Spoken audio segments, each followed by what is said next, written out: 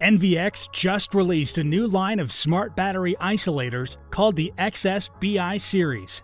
They have some very useful smart features that allow them to stand out from the competition.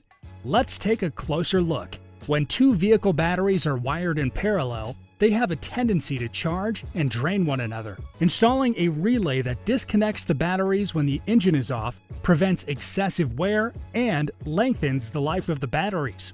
These smart battery isolators are designed specifically for use in multi-battery applications. These isolators primarily monitor the charging system's voltage. Once the voltage reaches 13.2 volts, the solenoid automatically connects the auxiliary battery to the charging system.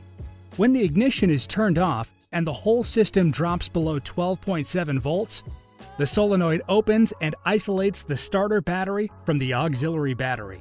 This ensures you should never have a drained starter battery again. The XS-BI series is available in three different models that can handle a large range of power.